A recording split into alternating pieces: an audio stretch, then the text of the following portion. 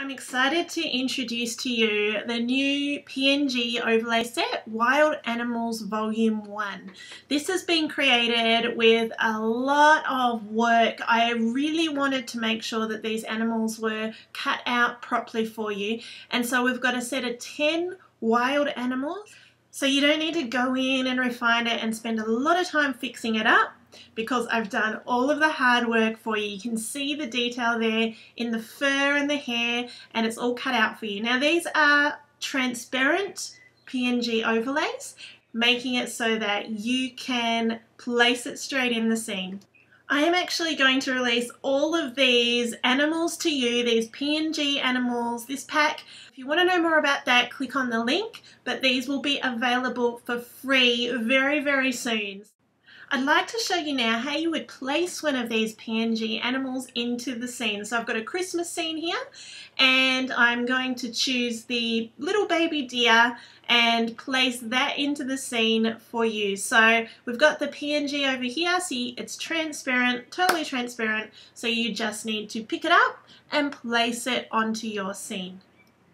So once you've moved your deer onto your canvas, onto your image, you just need to resize. So to resize, you grab the move tool and click on the corner and hold down shift to make sure that it doesn't go out of proportion. So hold down shift. If you accidentally let up shift, sometimes this happens. So you can just click the little button up the top there that will link it so that it stays in proportion and it locks it so it's not going to make it a crazy size.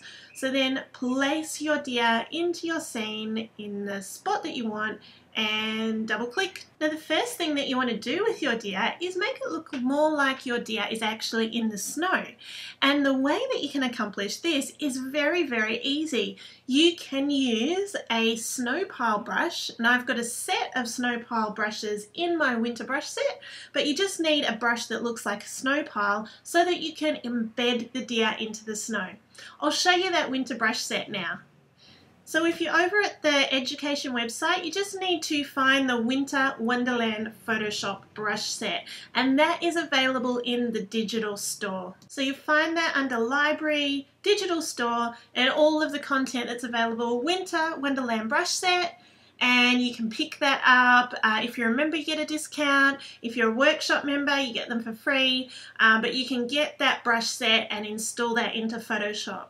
I will show you how to install that into Photoshop once you've downloaded it right now. Once you've extracted this brush set, you'll find it's an ABR file. You just need to double click that and it will install into Photoshop under your brushes. So you just click on your brushes and you will find that right down the bottom.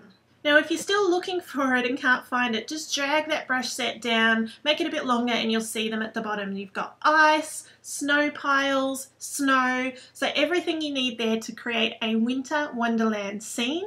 I've used some of these already in the image, but we're going to use the snow pile brush, which is this one here, and just build up the snow around our deer. So what we do is we obviously need to make that brush smaller so that it is the right size for the snow. And we go in, look at the feet there, and we've already got a mask on the deer. So all we need to do is stamp some snow using the mask so we're actually taking some of that deer away. And we'll just click here and you can see the snow starts to rise up above the deer. So we just add a little bit of snow around the feet so it looks like the deer's feet are embedded into the snow. We don't need to do it there where it's on the ground. We need to create a shadow there. But adding that just brings that deer into the scene a whole lot more. Now I'm going to show you in a speed edit form the rest of the work that went into bringing the deer into the scene a little bit more. So adding shading, shadows, lighting, rim lighting.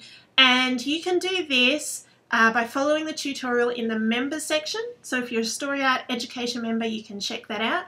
I will be releasing this full tutorial along with the free overlay set, this set of 10, when we get to our target. So make sure you click on the link so that you can register and I'll let you know as soon as this is available and you can watch the whole thing and you get all of those animals Thank you so much for watching. Merry Christmas to everyone. I look forward to seeing all your amazing Christmas images. My name is Karen Alsop and I'm from Story Art.